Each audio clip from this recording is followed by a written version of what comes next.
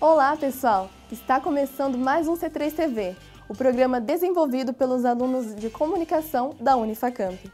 E hoje vamos falar sobre alimentação saudável, o que é, como ter e qual a importância dela.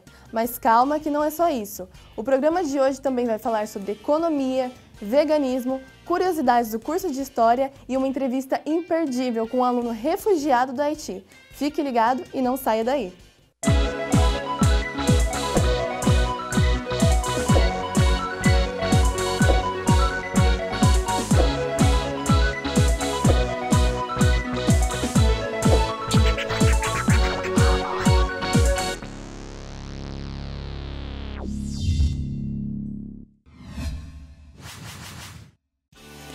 Agora entrar em um assunto bom para você que quer dar uma repensada na sua alimentação. Veremos algumas dicas de profissionais e opinião das pessoas sobre reeducação alimentar. Alimentação. Algo muito sério e que muitas pessoas não tomam cuidado na hora de escolher o que comer, principalmente com a correria do dia a dia. E o segredo para uma longevidade está nos hábitos e na alimentação. E se eu te disser que não é nada disso? Reeducação alimentar ultimamente tem sido visto como uma dieta. Com a demonização de alimentos, a obrigação de trocar tudo pela versão integral, light ou zero gordura. Paciência é a palavra-chave. Quando o assunto é emagrecimento, é normal o desespero por resultados rápidos, mas é preciso paciência para mudar hábitos, porque eles são construídos por meio da repetição. Reeducação alimentar é você buscar hábitos no seu dia a dia onde você consiga se alimentar de forma saudável. Você tem que buscar pessoas que trazem, que agregam a você. Você tem que conviver pessoas que fazem alimentações saudáveis. Buscar uma alimentação colorida é uma forma de ser saudável. Ter um hábito saudável em casa pode influenciar toda a sua família, assim como seu filho mais para frente ter uma vida saudável sem sofrer tanto, sem ter muitas vontades, sem querer um doce loucamente, sem querer tomar refrigerante. E assim você consegue uh, trazer mais saúde para a sua família, para os seus filhos e para quem está ao redor de você. Então, se você cresceu acostumado a tomar refrigerante todos os dias na hora do almoço, vai achar muito drástico do dia para a noite ter que substituir por água. Este é apenas um exemplo. Até o refrigerante pode entrar no dia a dia se a pessoa tiver uma boa relação com a comida e saber tomar com moderação. O importante é diminuir o seu consumo. Lembre-se que para saber o que é reeducação alimentar, você não precisa fazer uma lista do que pode e o que não pode, é justamente o contrário é aprender a comer tudo de forma mais moderada, em paz, com consciência e com prazer, incluindo cada vez mais alimentos in natura na rotina e diminuindo cada vez mais os ultraprocessados.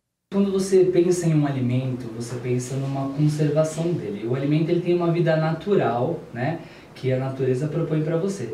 Se você quer uma longevidade para você ter uma, um ganho num custo, porque tudo isso gera um custo. Plantar, colher, tudo isso é comercializado. Então, para você transportar, para você poder ter uma fruta uh, mais saborosa, então você busca de alguma forma uma alteração genética, o que o alimento não é. E isso são químicas. Químicas dentro do nosso corpo vai causar algum tipo de problema em algum momento. Normalmente, os alimentos frescos e orgânicos não têm esses conservantes, não tem tanta química. Não tendo tanta química, você não compromete alguns órgãos viscerais que fazem parte do corpo humano. Bom, reeducação alimentar, na verdade, é quando a pessoa sabe, é, conhece basicamente o que ela come, desde a parte de nutrientes até a parte de proteína e carboidratos, e ela sabe calcular isso e controlar de acordo com as alimentações delas durante o dia, junto com as atividades físicas dela a reeducação alimentar é mais voltada para quando a pessoa não tem o hábito de comer legumes, não tem o hábito de comer verduras e tem algum problema de saúde relacionado a isso. O nutricionista ele tem que analisar o que, que a pessoa gosta, se ela tem um paladar doce, se ela tem um paladar salgado, se ela gosta mais do doce, mais do salgado, uh, a rotina da pessoa, a dificuldade que ela tem de se alimentar em alguns horários, então em alguns momentos você tem que fornecer um alimento fácil de ser consumido se ela não tem a disponibilidade de tempo de consumir um certo alimento, né, naquele período de trabalho, por exemplo. Vamos a algumas dicas úteis que podem dar suporte à nova relação com a comida, em busca de um peso saudável e sem sofrimento. Coma mais comida caseira. Se você conseguir aos poucos a rotina de cozinhar, será ótimo. Essa é uma das melhores formas de reeducar a alimentação, porque cozinhando em casa você pode fazer preparações mais frescas e leves. Diminua o consumo de açúcar. Então, que tal desmamar do doce, diminuindo gradativamente o consumo de açúcar? Uma das maneiras de se fazer isso, como disse acima, é diminuindo o consumo dos ultraprocessados, que trazem muito açúcar escondido. Se toma refrigerante ou suco todos os dias, tente tomar de maneira mais ocasional, aos eventos sociais ou finais de semana. Coma de forma consciente. Procure comer prestando atenção ao corpo. Essa é uma das premissas básicas para uma reeducação alimentar. Respeite o tamanho da sua fome. Alimentação adequada. Adequada. Ah, adequada sim, né? Tipo, eu como umas besteiras, mas eu tento, tento no máximo me, me educar. Sabe? Tipo, de vez em quando na sexta-feira a gente vai comer alguma coisa diferente, a gente vai fazer isso ou aquilo. Mas o dia de semana eu tento, tipo, manter no nível, digamos assim. Então, agora que você entendeu o que é reeducação alimentar, eu te convido a abandonar os antigos hábitos. Bom, mudando de assunto, você sabe como investir seu dinheiro e o que fazer com ele quando o imposto de renda chega? O pessoal do Jornaleiro foi mais a fundo nesse assunto. Confira agora a matéria a seguir. Olá pessoal, eu sou Isabela Mendes e no programa de hoje vamos falar sobre economia. Então solta a vinheta. Uma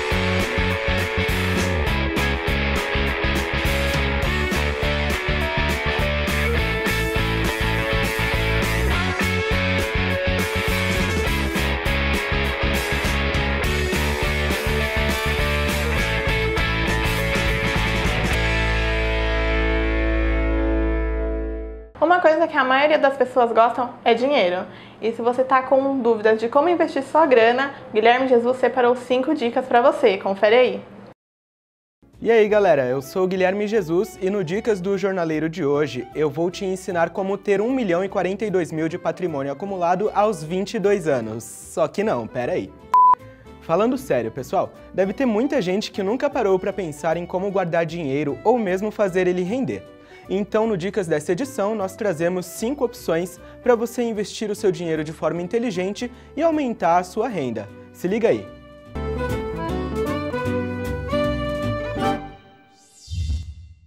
Dica número 1. Começando pela mais tradicional, a caderneta de poupança é uma opção segura e prática que vai render todo mês. Podendo ser feita mesmo com valores baixos, a caderneta traz ao investidor a facilidade de sacar o dinheiro a qualquer momento. Guardar na poupança pode não ser tão rentável quanto outros investimentos, ainda mais a curto prazo. Mas torna-se muito conveniente pela ausência de taxas e tributos incidentes sobre seus ganhos, então vale a pena para complementar o seu rendimento. Dica número 2. O Tesouro Direto. É tão seguro quanto a poupança, mas possui uma rentabilidade muito superior. Na verdade, o Tesouro Direto funciona como uma plataforma que abriga títulos públicos. Eles são o Tesouro Selic, Tesouro IPCA e Tesouro Prefixado. Todos são emitidos pelo governo, por isso são tão seguros. No entanto, para não correr o risco de precisar do dinheiro e não poder resgatar sem perdas, o melhor tipo para você é o Tesouro Selic. Ele rende aproximadamente 100% do certificado de depósitos interbancários e pode ser resgatado a qualquer momento sem perdas. Dica número 3: Certificados de Depósitos Bancários, ou CDBs. Os certificados são utilizados pelos bancos para captar recursos. Quem investe faz uma espécie de empréstimo ao banco e, ao final do período combinado, recebe os juros por isso. O dinheiro pode ser resgatado antes do período, se o contrato assim permitir.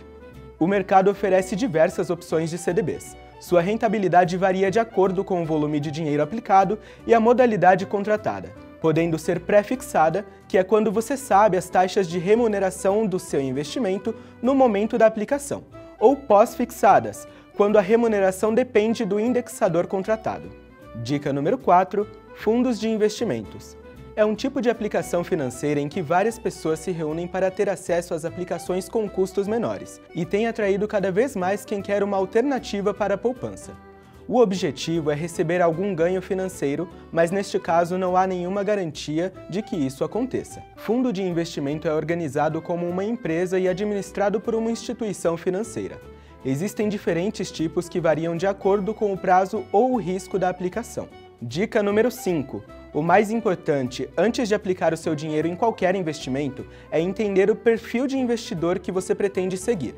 Vai optar por aplicação de renda fixa, que é mais estável e conservadora, ou variável, que é mais arriscada e agressiva para obter os lucros. Seja fiel ao seu objetivo para ter resultados efetivos no mercado. E para todas as situações, não há garantia de grandes lucros a curto prazo. Portanto, sempre tenha uma reserva de emergência e fique preparado para todo tipo de situação. Então tá aí, pessoal. Essas foram nossas dicas para você que quer dar uma incrementada nas finanças e fazer a conta bancária render um pouco mais. Eu sou Guilherme Jesus e essas foram as dicas do Jornaleiro.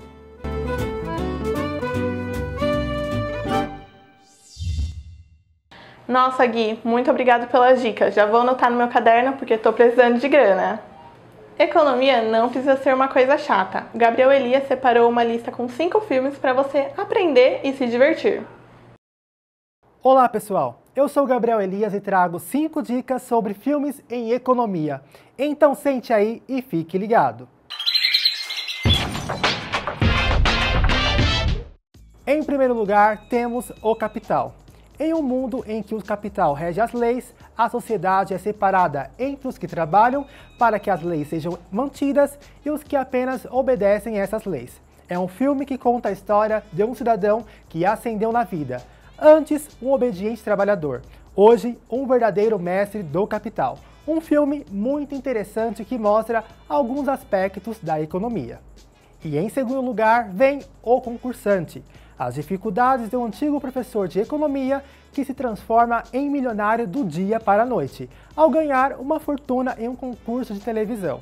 Não parece uma situação nada ruim, até que Martin perde o controle dos gastos e precisa de uma consultoria financeira.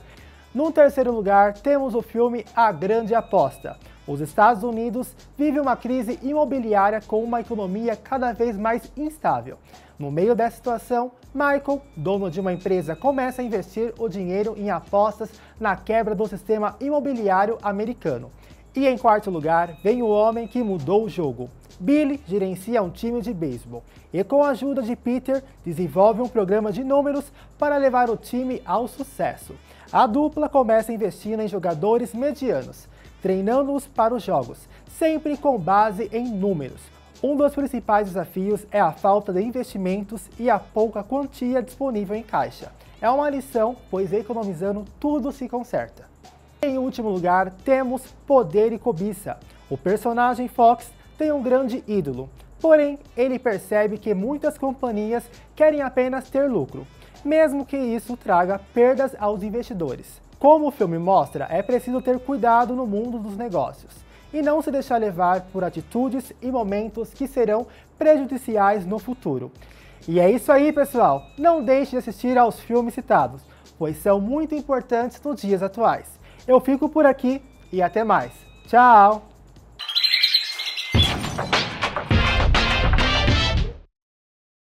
Precisa declarar imposto de renda, mas não sabe por onde começar? A nossa repórter Nayara Cristina vai te ajudar com isso. É com você, Nayara! Você sabe o que é a declaração do imposto de renda e quem é obrigado a declarar? Mais ou menos. Ah, o que eu sei são os gastos que você tem anual, no valor de acho que acima de 50, 64 mil. Não. Você sabe o que é a declaração do imposto de renda e quem é obrigado a declarar? Não. Você já começou a separar os documentos para a declaração? Ainda não. O imposto de renda é uma obrigação da maior parte dos brasileiros e acaba tirando o sono de muita gente. Basicamente, é um tributo cobrado pela Receita Federal e tem como objetivo a arrecadação de impostos para a saúde, educação, entre outros.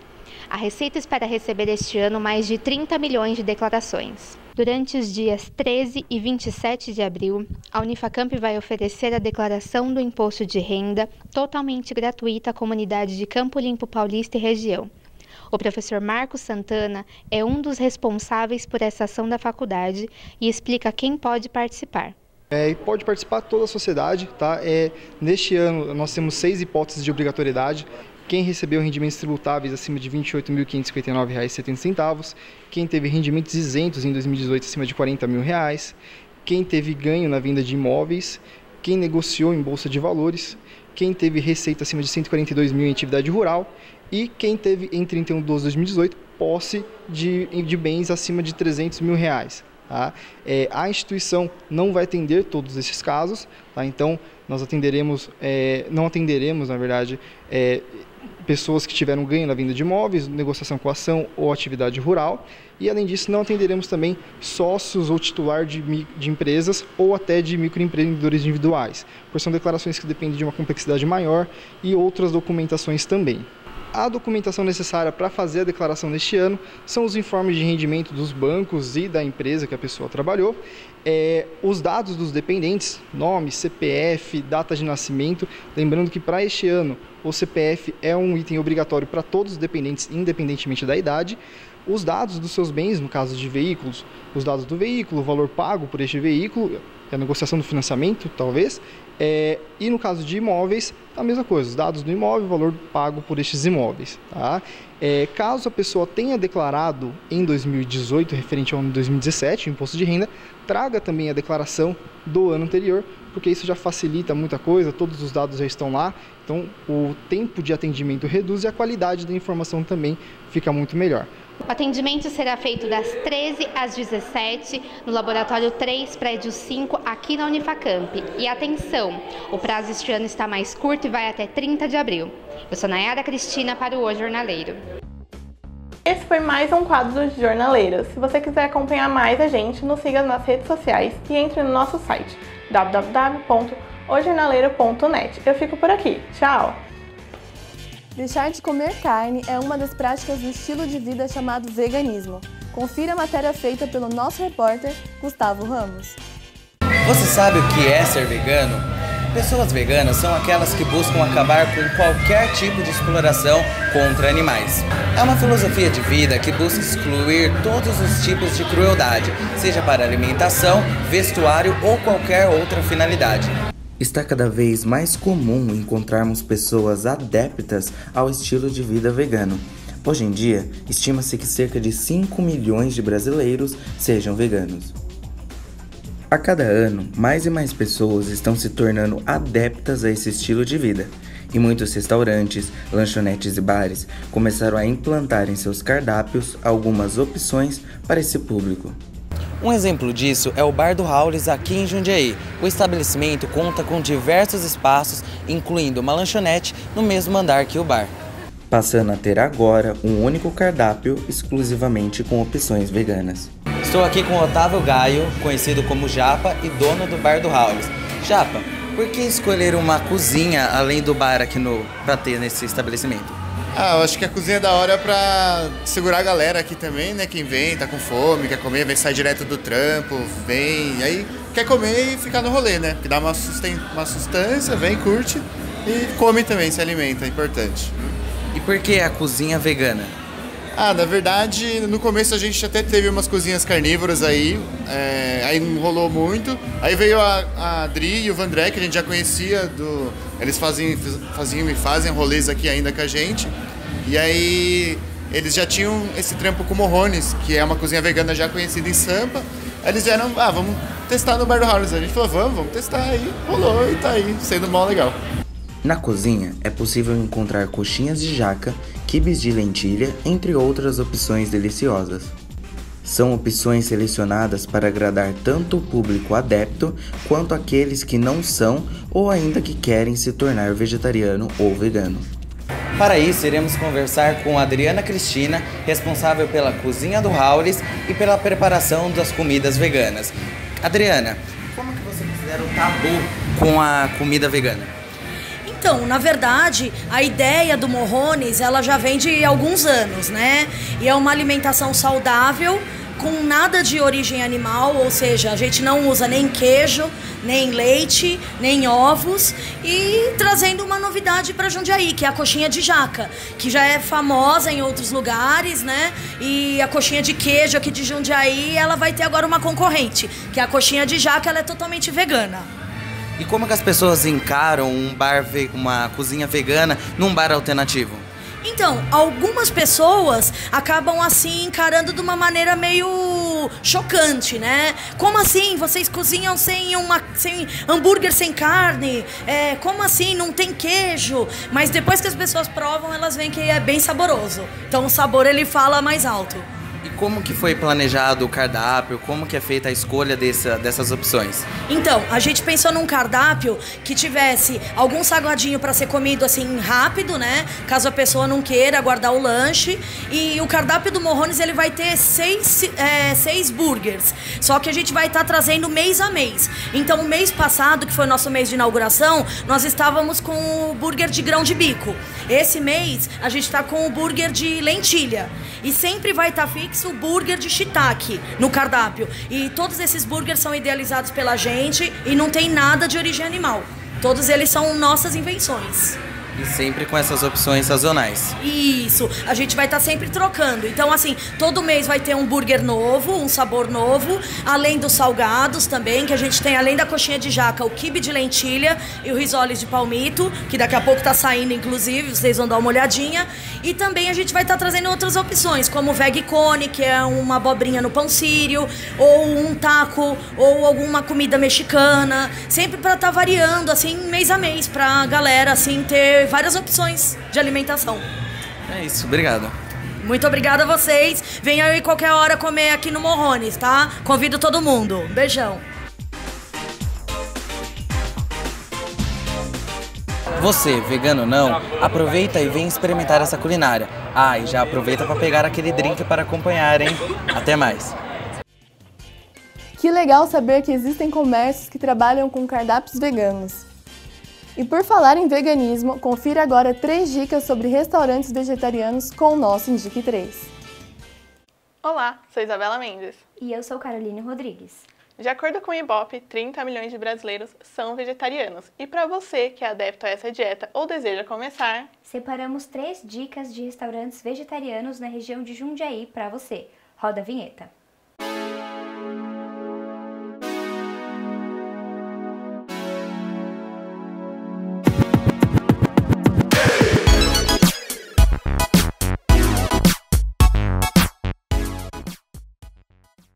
Para começar, vamos mostrar a diferença entre vegetarianos e veganos. O vegetarianismo é uma dieta que exclui todos os tipos de carne. Alguns consomem derivados, como leite e ovo, e outros não. Já o veganismo é um estilo de vida. Os adeptos buscam excluir todas as formas de crueldade contra os animais, seja na alimentação ou em outras áreas. Por exemplo, eles não usam couro nem produtos testados em animais. O primeiro local é o V2 Café e Restaurante, que fica na Rua Anchieta, em Jundiaí. O estabelecimento oferece self-service vegano no almoço e comidas congeladas para levar para casa também. Além disso, há um bônus aos sábados. A sobremesa está inclusa. Os principais motivos para uma pessoa retirar a carne da alimentação são a ética. São abatidos mais de 10 mil bovinos por minuto no Brasil para produzir carnes, leite e ovos. Na saúde, de acordo com inúmeros estudos científicos, o consumo da carne está associado ao risco aumentado de doenças como hipertensão e alguns tipos de câncer. O meio ambiente. Segundo a Companhia de Saneamento Básico do Estado de São Paulo, a Sabesp, 17 mil litros de água são usados para produzir 1 quilo de carne. Em contrapartida, somente 133 litros são necessários para 1 quilo de batata chegar à sua mesa. O segundo estabelecimento é perfeito para você que ama fast food. A Sanduicheria do Bode fica na rua Graciliano Ramos, 361, no Jardim Liberdade, em Jundiaí. Há opções carnívoras e 11 opções de hambúrgueres vegetarianos. Para você que ficou interessado na ideia de cortar a carne do cardápio, existe a iniciativa Segunda Sem Carne, que incentiva a substituição da proteína animal pela proteína vegetal, no dia quase mundial de começar novos projetos, a segunda-feira. A campanha está presente em 40 países, inclusive no Brasil. Nas escolas estaduais de São Paulo, as merendas nesse dia são adeptas ao movimento. Como terceira indicação, escolhemos o restaurante vegetariano Vida Natural, localizado na rua Senador Fonseca, em Jundiaí. O lugar só trabalha com almoço, mas há uma variedade incrível de alimentos e sobremesas também. Algumas pessoas se preocupam com a substituição da carne na dieta vegetariana, Porém, existem inúmeros alimentos ricos em proteína, como ovo, espinafre, feijão, soja e o grande bico. Dando destaque a essas substituições, a nossa dica bônus vai para o canal no YouTube Vegetari Rango, onde receitas como coxinha de jaca, maionese de abacate e bolos veganos são ensinadas. Coxinha de jaca.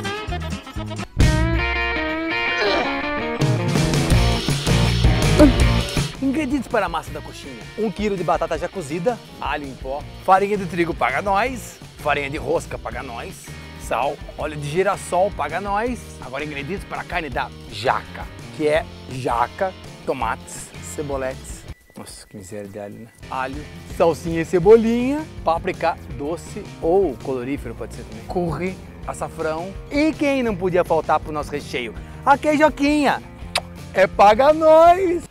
Bom, que tal testar esse estilo de vida com nossas dicas? Espero que tenha gostado. Esse foi o Indique 3. Até, Até mais. mais! Entender a história da humanidade, descobrir de onde viemos, conhecer nossos antepassados são algumas das características do curso de História, que também promoveu uma palestra com a Rainha do Congo aqui na Unifacamp. Confira agora a reportagem feita pela nossa equipe.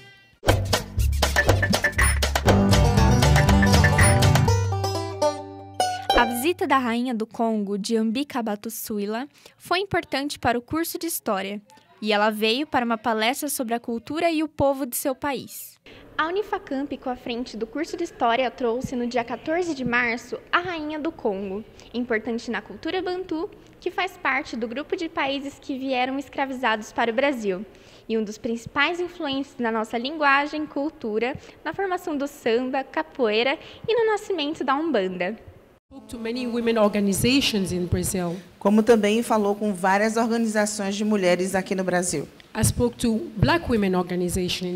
O evento foi realizado no anfiteatro da instituição e, além disso, foi projetado um telão na quadra da faculdade, pois houve superlotação no espaço principal. Regivaldo Cantor do Santo Júnior, aluno do terceiro semestre de História, que foi quem teve a ideia de trazer a realeza. A unidade da gente dialogar com, com a comitiva e eles aceitaram o convite e para nós é uma honra porque a cultura banto depois da escravidão é a primeira vez que vem, pisa no Brasil uma monarca e a Facamp teve a oportunidade de trazer uma monarca banto aqui na, na Unifacamp. E o que essa experiência vai refletir na carreira de quem está cursando o curso de História? A cultura banto no Brasil é muito importante e muito interessante. Temos o resgate, temos que fazer esse resgate da diáspora africana, né? As pessoas falam todos os dias palavras bantos, como quiabo, mandioca, e não tem noção que é uma palavra é, africana, banto. Então, é uma oportunidade muito grande dos alunos conhecer um pouquinho sobre a cultura banto. Além do evento e sua importância para a faculdade, a professora e coordenadora de curso Ellen Rosante nos contou mais sobre o curso de História na Unifacamp. Então, é o único curso que tem na região, é o curso que forma professores de História é aqui na Unifacamp. Tá? Então, nós temos, são três anos de curso e nós temos disciplinas específicas do curso, como História da Arte, História Contemporânea, História dos Povos Africanos, História da, da África, História da América, como também temos disciplinas que os alunos estudam em conjunto com outras licenciaturas né? que aí faz aquela formação geral. Então nós temos História e Geografia da África, nós temos didática, né, que vai, vão estudar também com pedagogia. Então, assim, a gente procura dar uma formação específica, né, mas também nós temos o olhar para a educação, do que esse professor vai encontrar na escola, né, pensando nesse, nesse profissional que nós estamos formando. E após a formação, qual, quais são as áreas que o aluno pode estar atuando? Então, o curso é voltado para a licenciatura, né? Então, assim, o, o, aluno ele vai poder dar aulas, né? Desde o fundamental, o que a gente costuma chamar de fundamental 2, né? Que vai do sexto ano até o nono, no ensino médio também. Além disso, nós temos uma base aqui de pesquisa, né? Inclusive, nós temos uh, nós oferecemos a pós-graduação também em lato senso e temos também bolsa de iniciação científica que alguns alunos fazem. E aí então esses alunos podem se direcionar para a pesquisa, além de ser professor. Uh, nós já contamos com alguns alunos no mestrado, no doutorado, né, em outras universidades. Temos alunos que saíram daqui e, já, e dão aulas em faculdade. Então, assim, a gente tenta ampliar um pouco com a pesquisa. Além disso, alunos do curso de História nos contam a experiência de estudar na Unifacamp. O curso de História da Unifacamp ele proporciona uma é, visão muito ampla do que é ser professor. É, a nossa formação de licenciatura ela conta com a parte da pesquisa, com a parte da elaboração de planos de aula, é, desenvolver em várias tendências pedagógicas. Eu gosto muito, eu sou muito feliz na minha escolha. É, a oportunidade que a gente tem de palestra, de conversa, de roda de conversa, a metodologia dos professores é tudo maravilhoso. E qual área você pretende seguir? A área da licenciatura mesmo, eu pretendo ser professora. A princípio eu quero ser professora, é, quero estar dentro de sala de aula, mas eu também gosto muito da parte de museologia, arquivologia e educação é, artística, toda essa parte também. Agora é hora de estreia aqui no C3 TV. Vem aí o quadro Câmera na Mão, uma produção realizada pelos alunos de rádio, TV e internet, que saem em busca de registros espontâneos e bons momentos para compartilhar. Dá só uma olhada.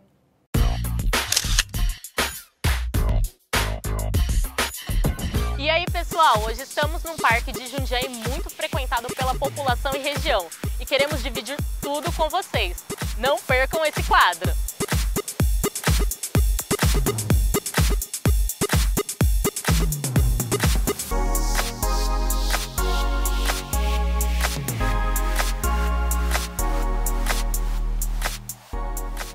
No domingo, tivemos uma surpresa com o clima. Logo após o almoço, começou a cair uma senhora chuva.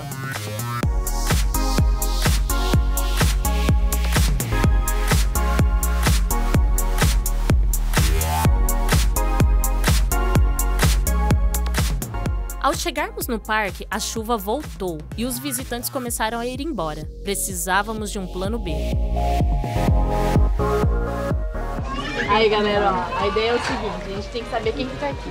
O que, que as pessoas fazem, se elas sabem cantar, sabem dançar. E disso a gente aproveita essas pessoas para fazer o show, beleza? Vamos lá, vamos lá. Tô com vergonha. Fala. Quando já estávamos prestes a ir para outro lugar, encontramos uma família super talentosa e simpática, que logo nos acolheu e deram início ao show. Você quer o quê? Você quer o quê? Que cante lá ou cante aqui? Ah, aqui, esse aqui é o cantor. Esse é o cantor. Esse é o é. Nós cantamos. Ele dança. E ela também dança. Nossa, gente, é isso que a gente tá precisando. Eletricidade da legal. Grava com a gente. Sim. Ai, gente, eu adorei essa família. Olha, vem aqui.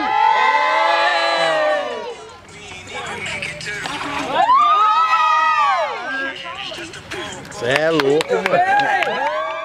Matheus encanta a todos com a sua dança há cerca de 5 anos, mas a sua paixão teve início na infância e uma de suas maiores inspirações foi o rei do pop, Michael Jackson.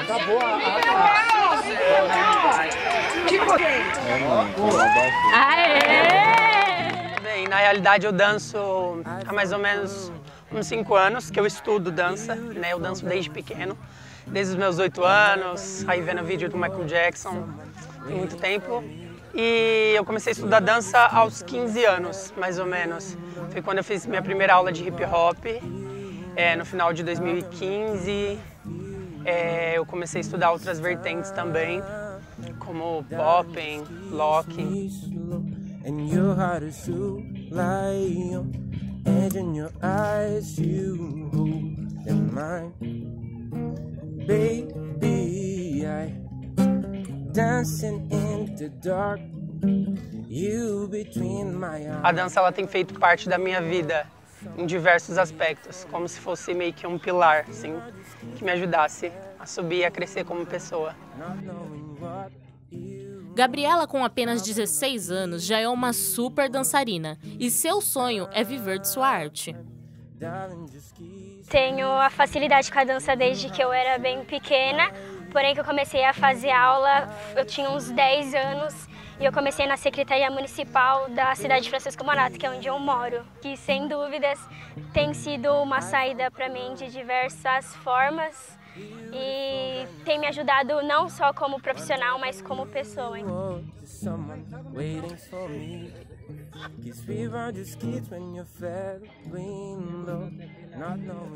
Vocês estão ouvindo essa música? Quem está tocando é o Igor.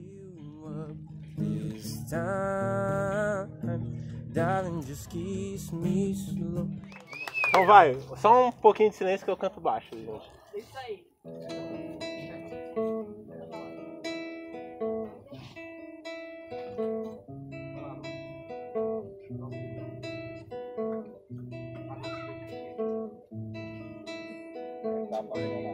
Loving can hurt. Eu toco violão há dois anos e eu comecei porque eu sempre gostei muito de música, sempre quis tocar um instrumento. Eu só não tocava mesmo porque eu não tinha nenhum. Até que eu ganhei um violão de um amigo meu que ele não estava usando e aí eu comecei a tocar e não parei mais. Segurei minhas lágrimas porque não queria demonstrar a emoção, já que estava ali só pra entender um pouco mais sobre a percepção. Eles dizem que é possível encontrar o amor sem perder a razão. Mas pra quem tem pensamento forte, o impossível é só questão de opinião. Disso os loucos sabem. Só os loucos sabem. Eu acho que a primeira música que eu toquei foi muito marcante. Foi uma música do Eric Clapton, que eu gosto muito, particularmente gosto muito. E eu fiquei treinando horas e horas e horas, dias e dias e dias. Como era, você não conhece as notas no começo, né? Você não conhece o instrumento, então quando você consegue é tipo uma superação assim é, é incrível. When I wake, I won't remember how you kissed me under the lamp back on six tree. Hear when you whisper the phone. Wait for me, come home.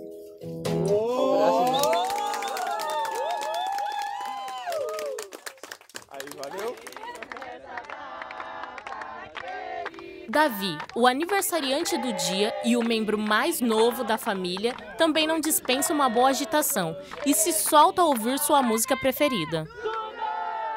Quanto mais e vai lá. Tá comendo ticolé, vai. Tá comendo ticolé, tá comendo ticolé. Ticolé é muito bom, ticolé é muito bom. Ele é de melancia, ele é de melancia. Dança ali. Tamo aqui, Eduardo. Dá pra ele, Eduardo. Tamo aqui, Eduardo. Dá pra ele, Eduardo. Vai no passinho, vai no passinho, vai no passinho. Vai no passinho, vai no passinho. Família!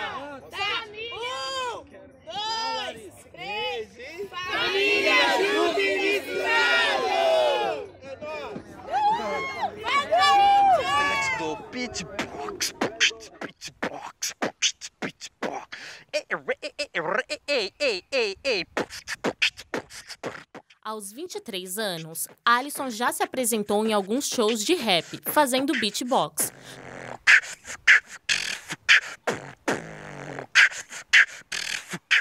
É, gosto de fazer beatbox. Já apresentei alguns shows, assim, que tinha uns amigos meus que tinham um grupo de, de rap. Aí sempre na entrada do show eu fazia um beatbox, um improviso ali no começo. Mas nada muito profissional, sabe? Mais pra diversão ali.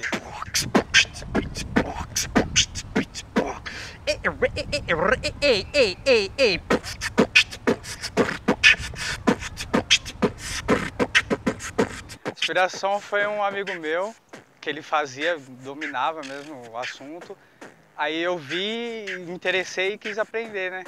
Eu fui tentando, tentando, isso faz uns, uns 10 anos, eu acho, já que eu, desde molequinho mesmo, eu já estava ali tentando desenvolver cada vez mais ó, a habilidade do futebol. É uma coisa, um hobby, sabe, que eu gosto de fazer, mas profissionalmente não, não pretendo, mas gosto de como um hobby.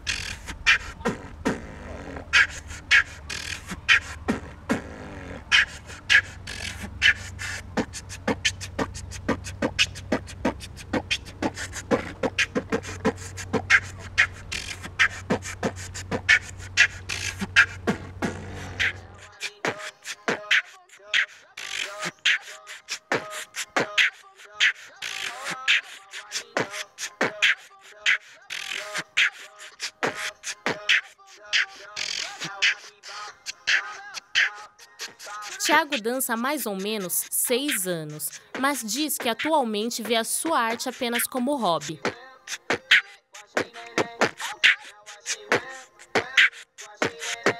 Danço, tipo, faz uns seis anos e eu me inspirei muito, tipo, em cantores americanos, tipo Chris Brown, Michael Jackson e com inspiração, mas eu tenho só como hobby mesmo.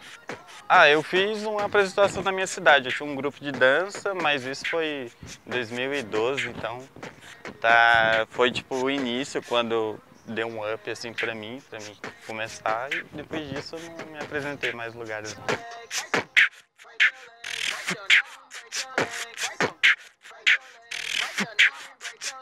Aí, pessoal. Apesar das dificuldades e da chuva que já está voltando, nossa matéria deu super certo aqui no parque e, além de tudo, ainda encontramos vários talentos.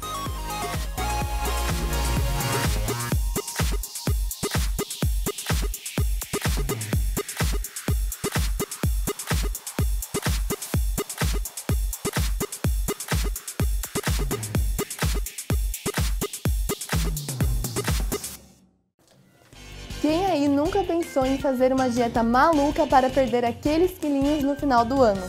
A nutricionista Simone Toledo nos concedeu uma entrevista para falar um pouco sobre o assunto. Com o auge dos blogueiros fitness de corpos fortes e sarados, tem muita gente procurando emagrecer e tem gente que faz de tudo para isso.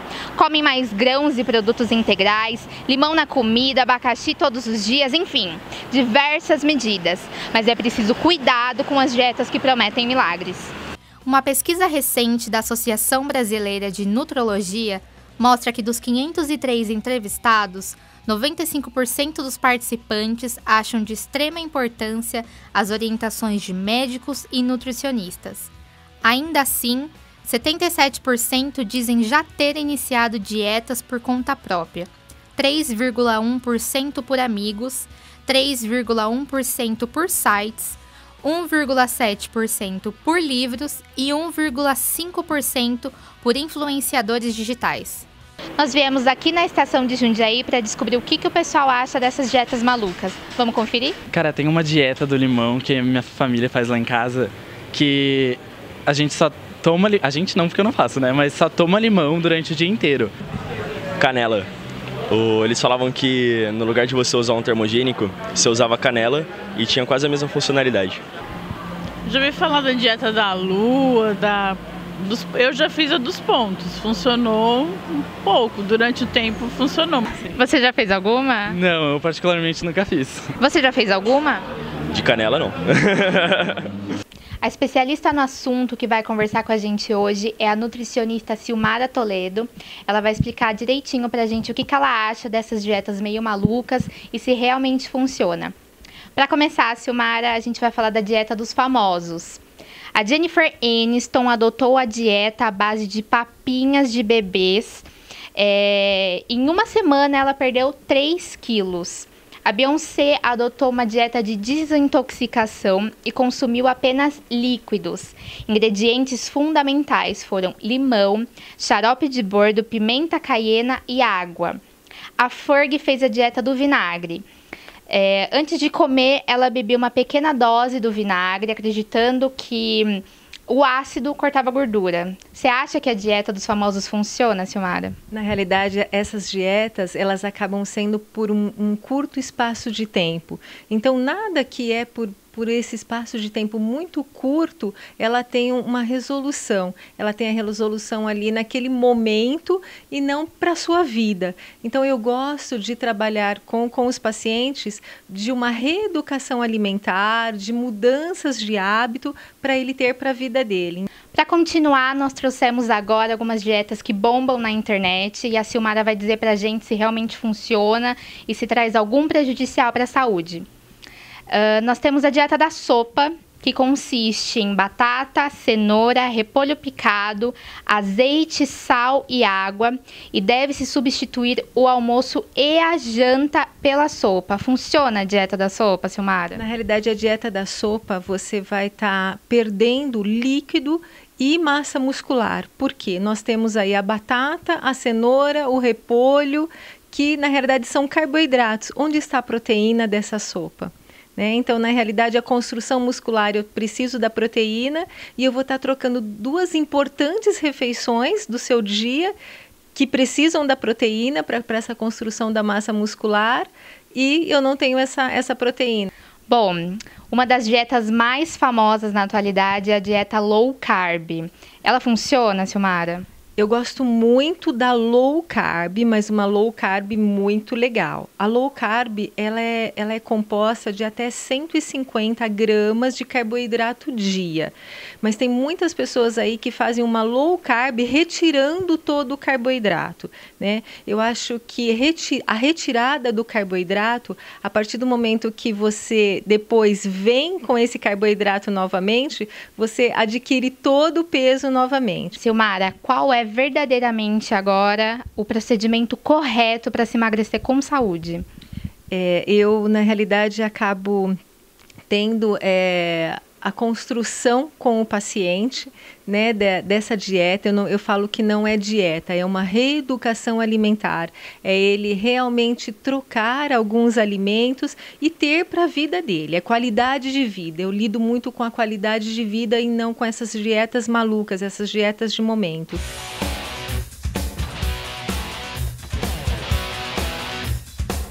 Bom, vocês viram que tem maluquice de sobra para quem quer emagrecer, né? Mas a dica que a gente deixa é: procure um profissional adequado, pratique exercícios físicos e emagreça com saúde. Eu sou Nayara Cristina para o C3 TV. Melhor tomar cuidado com essas dietas, hein, pessoal? Pois, como vocês viram, elas podem ser prejudiciais para a nossa saúde. Lembra aquela entrevista imperdível do aluno haitiano que eu comentei no início do programa? Então, vamos acompanhar agora esse bate-papo no C3 Conversa. E aí, galera, tudo bem com vocês? Estamos começando mais um C3 Conversa. E na edição de hoje vamos bater um papo com Charles Steven. Steven tem 27 anos e é estudante de jornalismo aqui na Unifacamp. Nascido em Porto Príncipe, no Haiti, vamos saber um pouquinho mais sobre como foi sua vinda para o Brasil e quais são suas impressões sobre o novo lar. Oi, Steven, tudo bem com você? Tudo. Então conta um pouquinho pra gente, quando foi que você veio para o Brasil e por quê? Eu vim aqui no Brasil dia 17 de janeiro de 2017. Eu tenho razão. Eu sempre tive sonho de ser, ser actor. Eu assisti bastante novela brasileiro, novela mexicano e Dubai. Esses três países, eu sempre tenho sonho conhecer esses países e, e, e escolher um para viver. Entendi. E qual, qual foi a primeira impressão que você teve dos brasileiros? Primeira impressão, se você parar para pensar o que você viu na televisão, a realidade é bem diferente. Mas o povo do Brasil, além de ciumenta, é um povo muito legal. Você já sofreu algum tipo de preconceito desde que chegou aqui? Bastante. Para não receber preconceito, só se eu ficar na minha casa, eu não saio.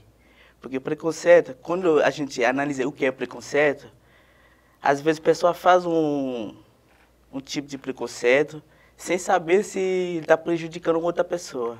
Um exemplo. Às vezes eu saí na minha casa, fui para o mercado.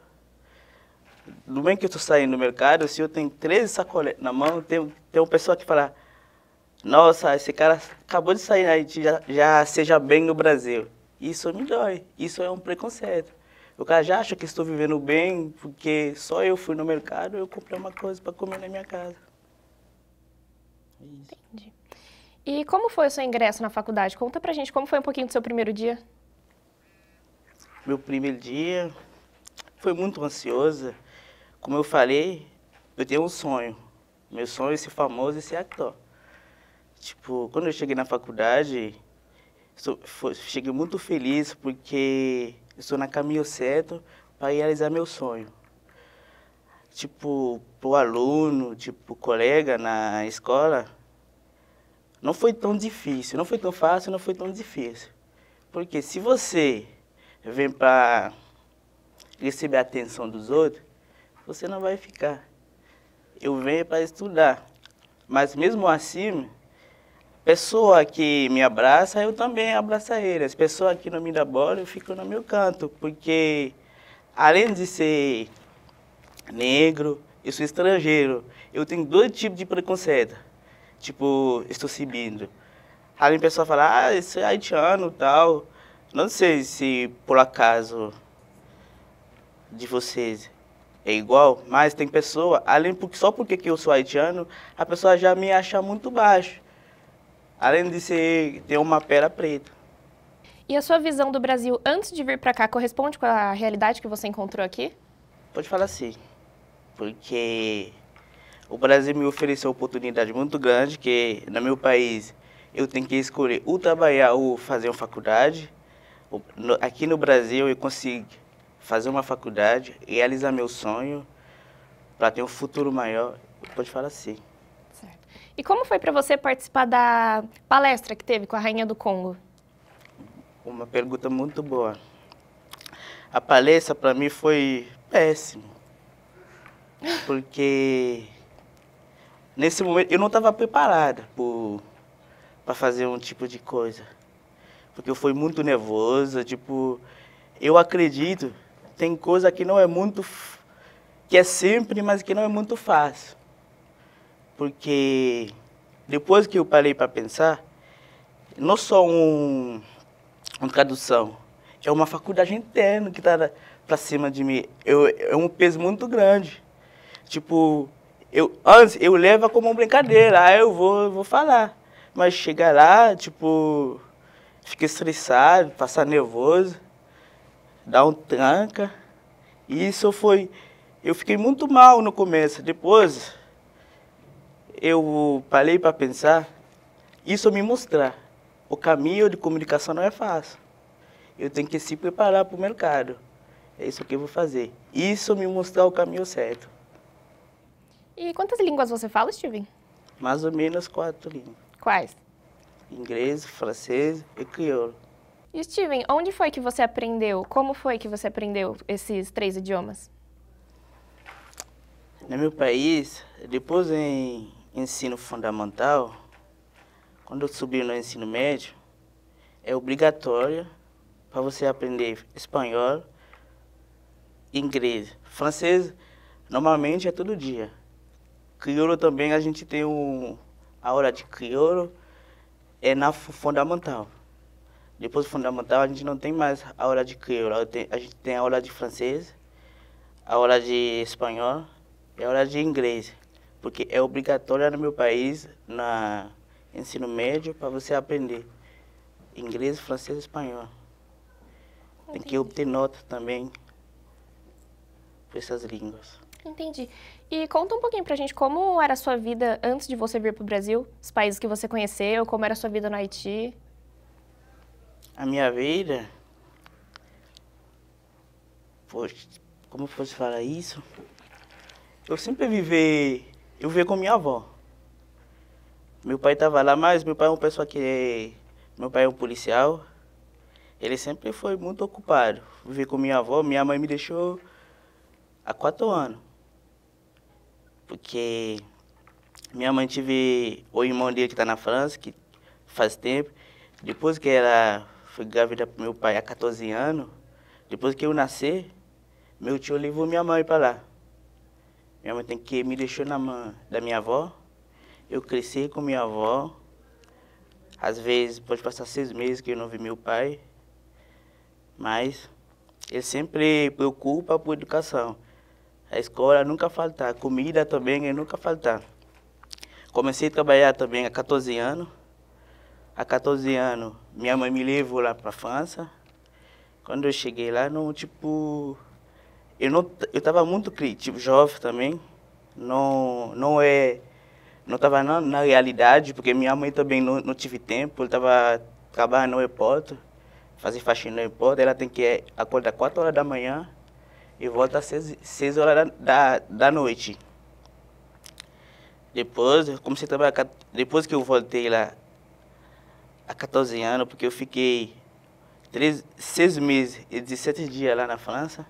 Eu voltei para o meu país, eu trabalho, faço táxi há 14 anos.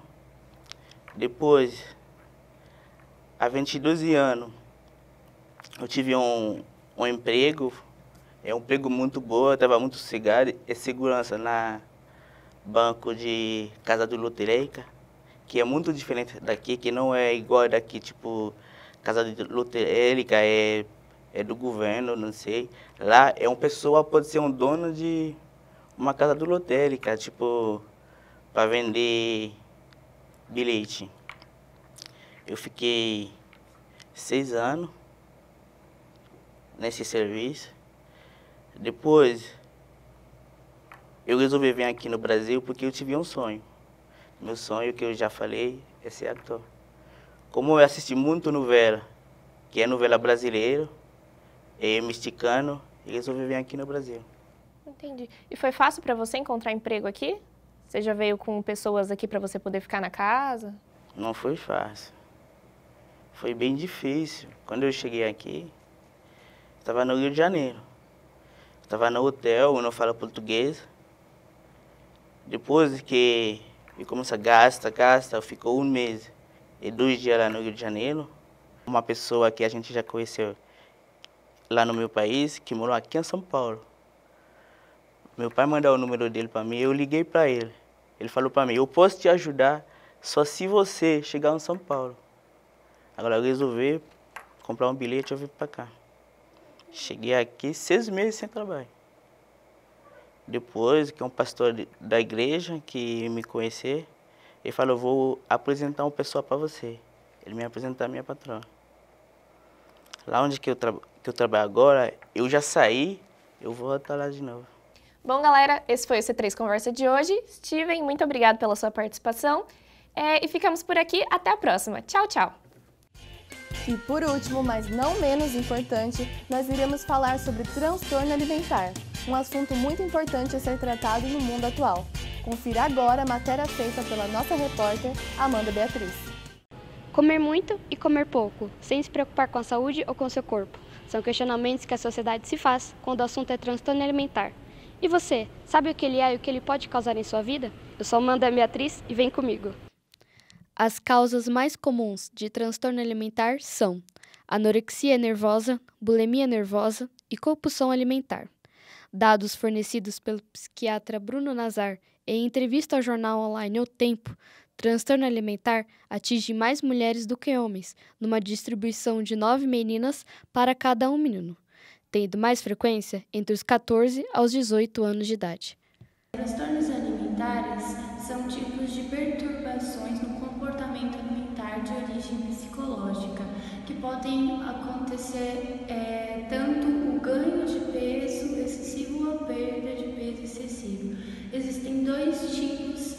mais se né, hoje em dia, que é a anorexia nervosa, né, onde o o paciente tem uma perda de peso muito significativa por medo de engordar, e a bulimia, onde ela tem uma compulsão alimentar e acaba provocando para vômito ou realmente fazendo uso de laxantes para poder compensar aquilo que tem, tenha, que ele tenha se alimentado, para é, pôr peso na consciência mesmo da ingestão alimentar. Um dos sinais que a gente pode destacar uma pessoa com distúrbio alimentar é a perda excessiva de peso, preocupação é, exagerada com a forma física e não se, não se alimentar junto com familiares, não se alimentar é, as pessoas olhando, ter esse, realmente esse isolamento social, né? É, na bulimia a gente pode destacar também ferimentos na boca, ferimentos no dedo, onde se provoca o vômito. Então, estar bem alerta também com o comportamento geral do paciente. A pessoa que sofre com transtorno alimentar deve ser acompanhada por uma equipe multiprofissional da área de saúde, que tem uma abordagem comportamental para ter o cuidado e atenção total. Lembrando que ter uma ótima relação com exercícios físicos e forte envolvimento social pode ajudar a amenizar e prevenir essa doença. Então, geralmente é, o cérebro humano, né, ele reage a essa doença das seguintes maneiras, né?